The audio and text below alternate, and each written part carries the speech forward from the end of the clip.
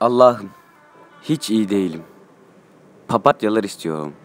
Narkozlar, ucu açık yaralar, gece yarısı çağrıları, erken finaller, dramalar, reklam panoları, kuşkular ve son model travmalar. Samimiyetten dem vuruyorlar, korkuyorum.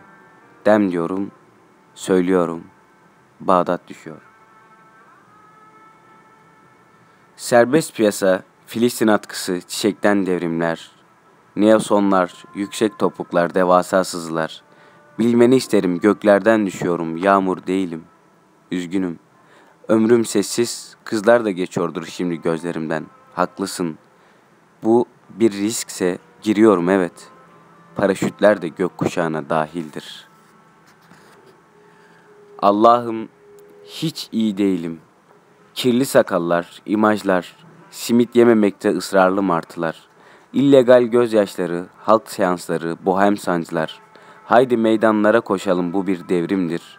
Bombalar istiyorum, serbest ekonomiler, makyajlı örtüler.